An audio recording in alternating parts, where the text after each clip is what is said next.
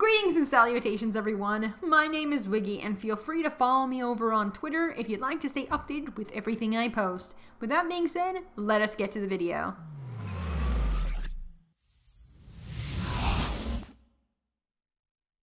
Florensia, a cute anime MMORPG, or at least that's what it wants you to think, but you would be wrong dead wrong. This cute little anime MMORPG is a definition of death. but I am getting ahead of myself, so let us rewind a moment. Florensia is a relatively old anime MMORPG with basic tab target combat, and it has a few different races, or in this case, social rankings to pick between. There's larger humans, shorter humans, fancier versions of the same humans. They function as classes. The skimpy sailor girl, who uses rifles and butt pistols, referred to as explorer, a beautiful noble that uses magic from an overpriced stick. Wrong stick, guys.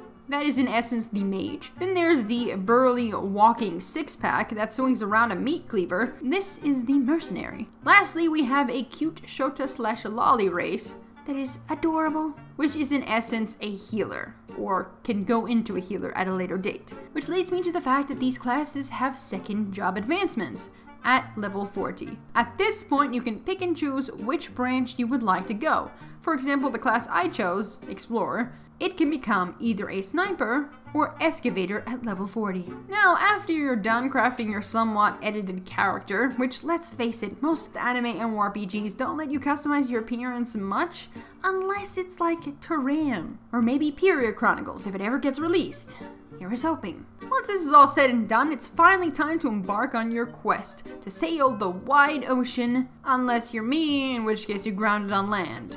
Whilst on land, you will obviously encounter combat with the many adorable creatures found within Florensia. And, well, the combat is what you would expect from an anime MMORPG. It's simplistic tab target combat with some semi-detailed effects attached to it. It's by no means bad, and I did enjoy killing hapless hordes of mushrooms whilst they scream out for Mario. But I was stuck in this spot for quite a while as I required 20 plus items in order to complete my first set of quests. Oh boy, I can't wait to see how many items I will need later on in this game. That being said, it was nice to see the monsters ragdoll after death, or when you get critical hits. Do keep in mind that this also happens to you, so you may get your ass murdered. With that being said, let's move on to the skill system found within Florensia.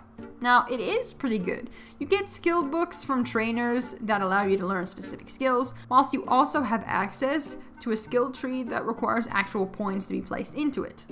Once you've placed enough points into your skill tree, you then gain access to the next ranking skills. Then of course there are skills for your eventual ship. And yes, there is naval combat found within Florensia. This is something that you'll gain access to at a higher level. Reaching said higher level is definitely the issue I had with Florensia. It is quite hard to gain experience in this game and it's quite slow.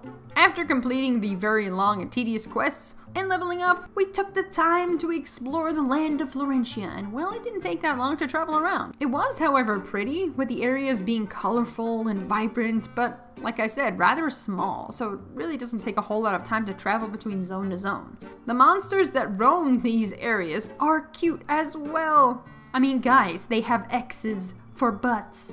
That's adorable. You can't say that having an X for a butt is not adorable. Well done, art designer. You made me laugh over a butt. Thank you for reminding me that I have the sense of humor of a 13 year old child. Fantastic. That being said, while the monsters were cute, they didn't mind killing us. Nope, not one bit. I mean, my boyfriend died so many times he turned into a skeleton. He literally died constantly. Roaming around the high level areas with monsters got him. It was quite hilarious to watch. Poor Eve. Can't seem to catch a break. Another thing interesting whilst exploring around was, well, there's world PvP. There's no faction v faction going on, but if you encounter someone high level, don't say hi. They'll murder you, like literally everything else in this game. Then of course it is hard to find players at all, so you might actually be safe. To be honest, I saw a grand total of three players One murdered me, one was AFK, and the other was a cute little lolly who added me as a friend. So basically, Florensia is normal in terms of MMORPG standards.